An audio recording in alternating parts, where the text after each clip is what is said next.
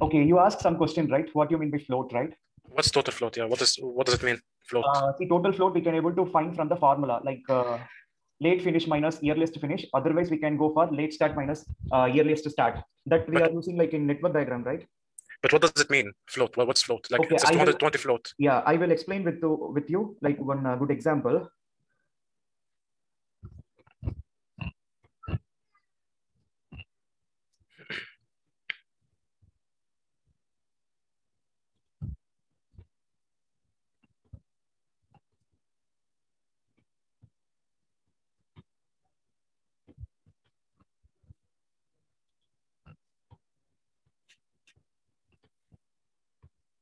See, consider this kind of activities, right? Like uh, first column, refer activity. The second one,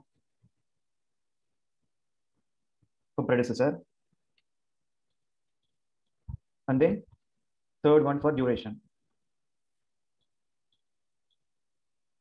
So A duration, from A duration, it is just going for, Five. no, A duration five, right? So I can put five here. And then it start with zero and end with the five.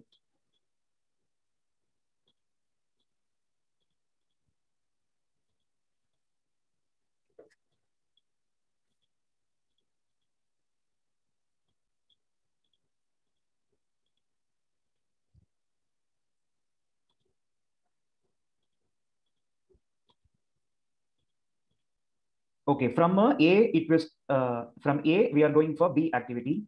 So B like having duration of so so it will start with five and then end with the eight because it is like having three. So it will be like a five plus three, right?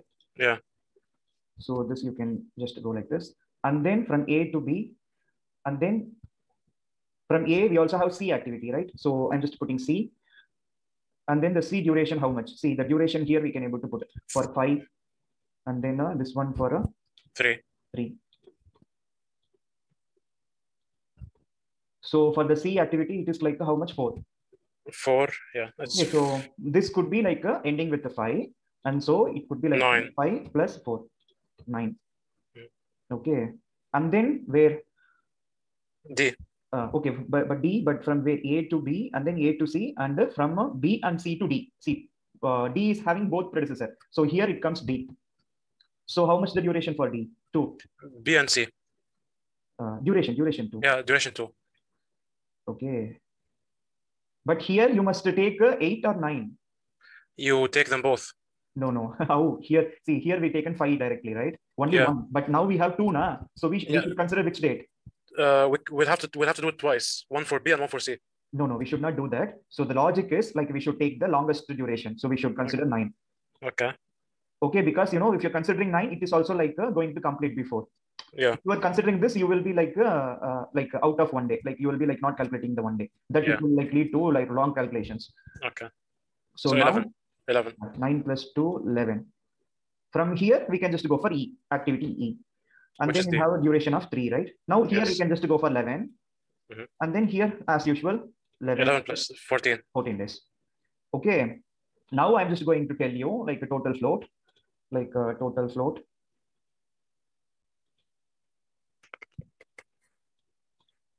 So this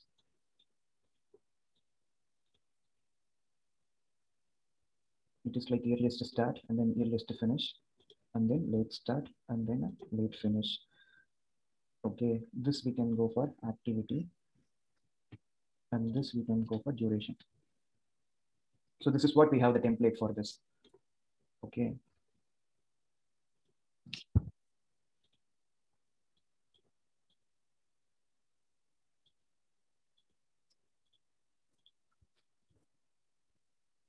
So we have the formula for a total float equal to Late finish minus early finish. Yeah, and then total float equal to late start minus earliest start, right?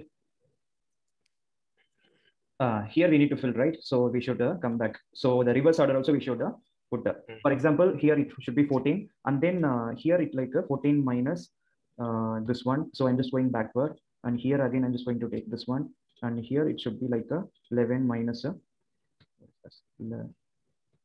So 11 minus this one, Okay, and here it is like uh, the same. And from here, we are going backward. Oh, right? Mm. Yeah. Okay, and uh, here it is like a same. And uh, here it is like a zero.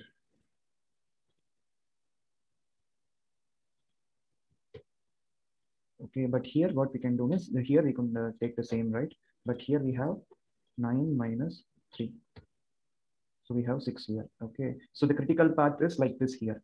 For example, uh, I'm just going for arrow. Where is the arrow?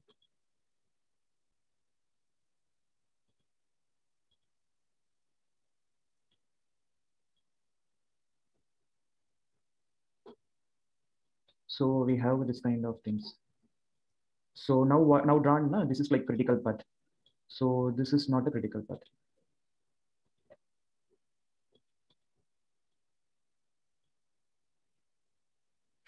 So we can just uh, go for putting this to color. Uh, we can just go for critical path, right? Okay. But why I am just uh, telling this is critical path? One thing, this this is the longest path. Mhm. Otherwise, we can tell that is like a total float is zero. So the critical path, so the total float should be zero. See, we will calculate now. Now the total float here, how much like a, uh, you know, na, total uh, float Latest finish is 14. uh, that also we will display here. So total float equal to 14. minus uh, earliest float, and then total float equal to late start minus earliest start. But uh, this is for uh, we can say it as like a finish float, finish float because we are considering only finish. Mhm. And uh, here we can just go for start float. Okay, so the total float we, are, we can able to calculate like this. Mhm. Okay, now we can just do here, like how much the total float here can calculate based on the formula. Uh, late float 14. Latest uh, finish. From here we can just start Yeah. starting. So it is like a late float minus earliest float. So it is like a zero. Okay, Early. Yeah. No. Why? Why is it zero? Because see late finish minus earliest finish. So five minus five is zero, right? Ah, Otherwise, you're taking each activity on its own. yeah. I thought all the activities together. No, no, not all the activity. This is the like logic. See, I'm just going for the same formula. So I'm just going to apply. I'm just going to copy and paste. Okay, so we have a start float also zero, end float Yes. zero. Mm. Total float is zero actually. Uh, in that case, I'm just going to put the same for everywhere. See, total float is coming as one, Mhm. but here zero. That's why it became critical. Again zero, again and then zero. Mm. See, now we can able to understand like what it is like a uh, like a float. See, critical path we will be having total float zero everywhere. Yeah. But uh, here we have one day. Mhm. Okay. Now this is what the float means. Now you understood, right?